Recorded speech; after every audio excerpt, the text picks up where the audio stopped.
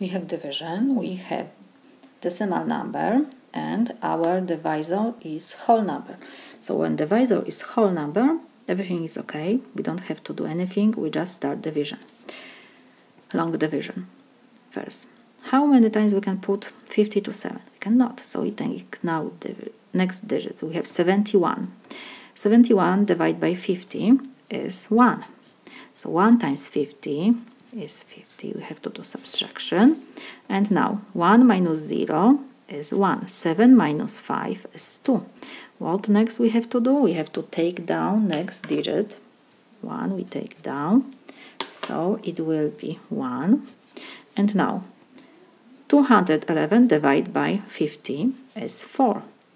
4 we write on the top. Always solution on the top. 4 times 50 is 200. Again, subtraction. 1 minus 0 is 1. 1 minus 0 is 1. 2 minus 2 is 0. We don't have to write. What next? We have to take down next digit. 5 we take down. And what else? Decimal point we have to keep in the same column in our solution.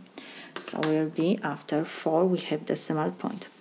And again, 1, 15 divided by 50 is 2.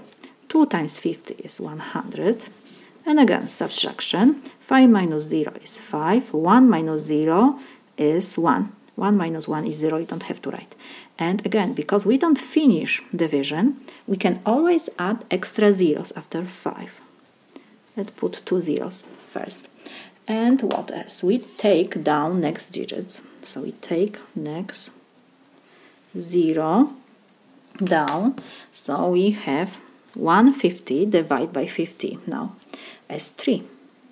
And now we have to do multiplication. 3 times 50 is 150. Subtraction will be 0. So we finish long division. We don't need this extra 0. And our solution will be 14.23.